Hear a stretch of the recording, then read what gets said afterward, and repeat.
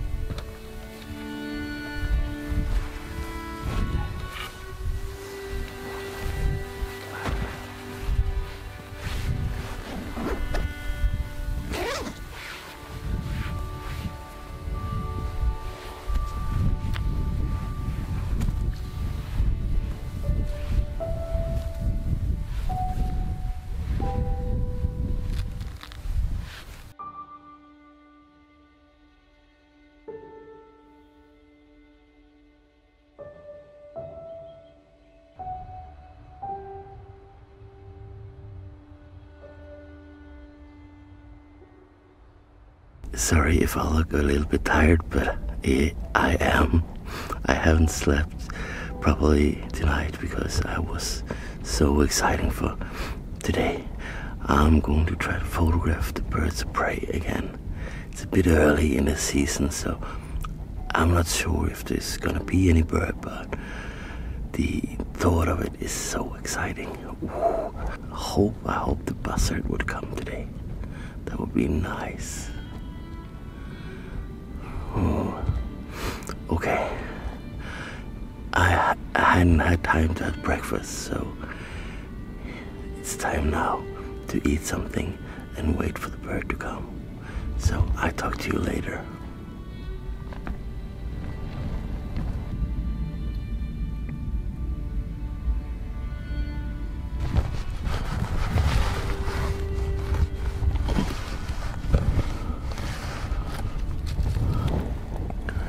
There is a rough-legged buzzard. It's sitting in its route top of a tree. I think it's deciding if it should come down or not. Oh, this is exciting. First the bird of prey. Then I see now this season there. The rough-legged buzzard is now down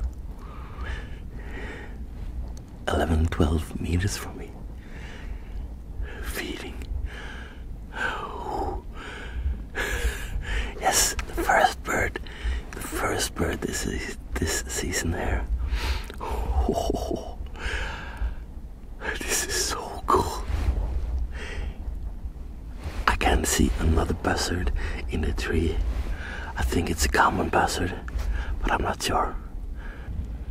I need to see if I can take some pictures.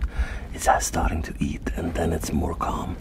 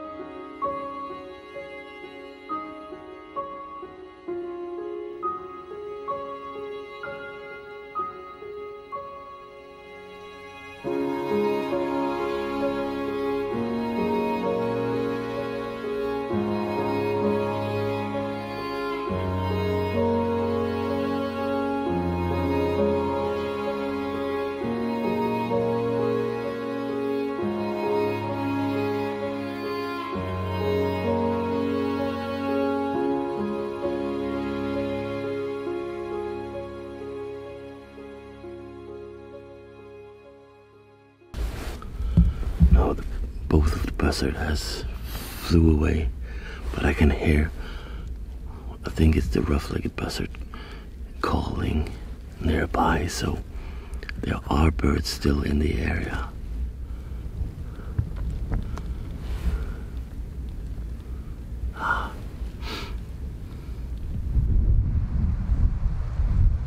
I cannot see any birds right now. So maybe time to eat some more. And uh, yeah, wait and see what's happening. This is really, really good. Look what I have. Look what I have. This is a really Norwegian snack. It's a chocolate. We are all taking this chocolate here when we are up on the mountain skiing.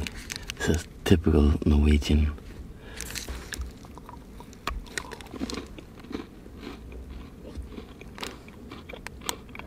Mmm. Mmm, really good.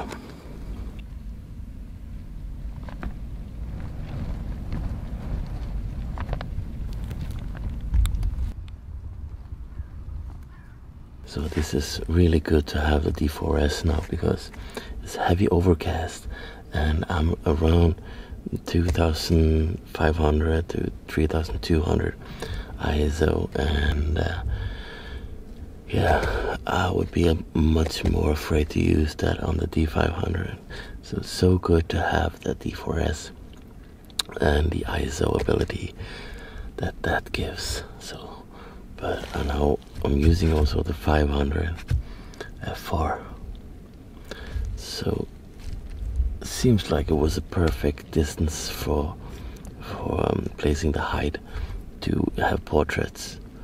But uh, if I want more of the wings inside it's a little bit too close though. But it's the first time now this season here so it's one of many times that I can, yeah, hopefully get more good, good days in this hide here.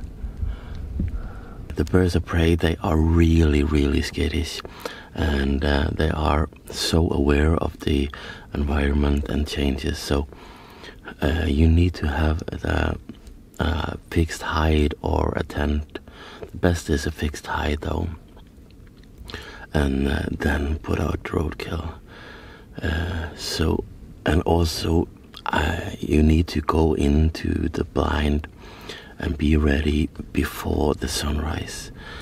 Uh, you need to go into the dark because uh, if a bird of prey will see you, and it definitely will if it's sitting in the area, even you, even if you don't see it, uh, it could be far away, and they have so good eyesight so they can spot you uh, without any problem. And uh, if they do that, it's possible for the bird will not come down at all. So go into the hide in the dark. I think it, this is really important if you are going to do this yourself. Now, actually, the clouds are starting to break up. Oh, it would be so nice to get a bird down now but I haven't seen a bird in a while. But you never know, suddenly they can show up.